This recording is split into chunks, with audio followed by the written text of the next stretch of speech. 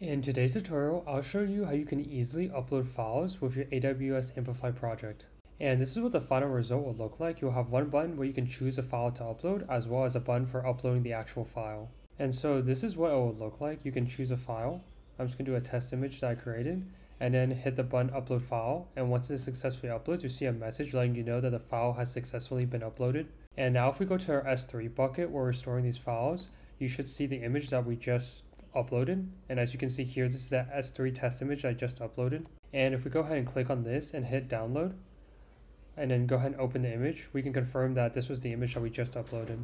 And to begin this tutorial, I'll go ahead and go back to my code. And here is the code from the previous tutorial.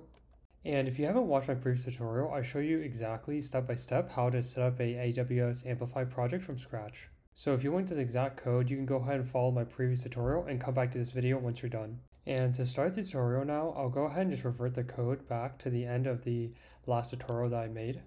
And so now if we go ahead and just run the actual project, um, it's gonna want to make sure it's exactly how I left it off. And so this will be like what the final result will be.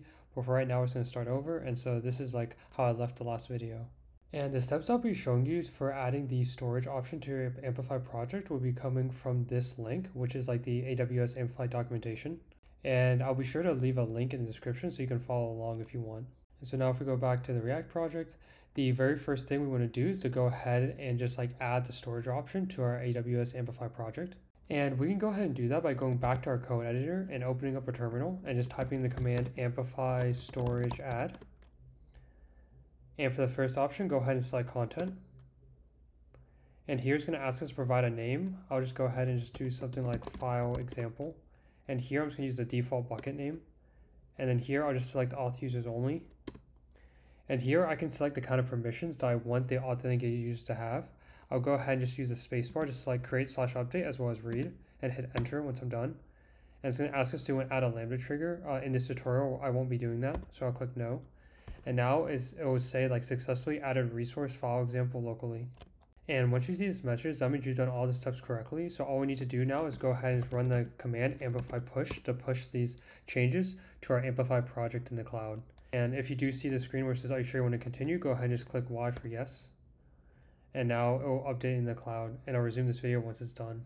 And now my resources have been successfully updated. As you can see here, it says all resources have been updated in the cloud. So now for the first step, I'll go ahead and import the storage object from AWS Amplify. You can do that by going to the import statement and just type in storage up here and hit save. And for the second step, I'll go ahead and just create a new function that will actually upload our files and I'll go ahead and paste it here. And what this function does is basically call the storage object and call the put function that it has. And here we're just like naming the file as well as the actual file data that we're uploading to S3. And here the content type is we're just specifying the type of content that this file is, whether it's like a text file, MP3 file, etc. And then here on line 22, I'm just console logging the result that we get back from this like storage.put function. And once we create our upload file function, the next step is to go ahead and create a variable which will store the data that we're trying to upload to the S3 bucket. And we can do that just by going here and go ahead and just type in like file data as well as like set file data and we'll just set it equal to like an empty object and it's safe And once we're done with that, we can go ahead and just go down to like the return statement. And here we're just gonna go ahead and create an input where we can actually upload like the files that we want. And I'll go ahead and just paste it here. Or I'll also add like this on change handler function, which will actually call the set file data type based on the actual object that we're uploading. And now once I hit save, and now if we go back to the React application, you can see I have like a choose file button. And I'll go ahead and just like add a div around it. That way it will leave you on the next line. It'll be a little bit easier to see. So now if I go ahead and hit save, it's on the next line. And then for the next step, I'll go ahead and just create a button as well to actually like upload the file once we've uh, selected the file from our computer. So we can do that by just creating like uh, just like a regular button. And then here I'll just do like on click and I'll just go ahead and select the function that we created earlier if we call it like upload file and hit save. And now if we go back to our upload file, I just want to try to explain it a little more in detail. But basically, now that we have like the data inside of our file data variable, we can we're able to access the name, which is like what we're passing in as the first argument. And then file data is the actual data that we're uploading to the S3 bucket. And in here for content type, we're just getting it from the file data itself. So we're just accessing that by doing like file data dot type. And so in this example, it will give us like a PNG because that is what the file I'm uploading is. And so now if we go back to our React project and hit refresh, oh, I just need to actually like give the button like some text. So I'll just do like upload file and hit save. And now if we go back to our React project, you can see we have like the choose file as well as upload file button. And one thing I forgot to add was that we also want to have the text uh, that will show us like if the file uploads successfully. And so we can do that real easily just by creating another variable. And we'll just call it like file status and do like set file status. And we'll just initially set this to false. And we'll just set this variable to true once the file has successfully uploaded. We can just do that like um, right after we upload the actual file. So we can just do that by doing like set file status and doing like true.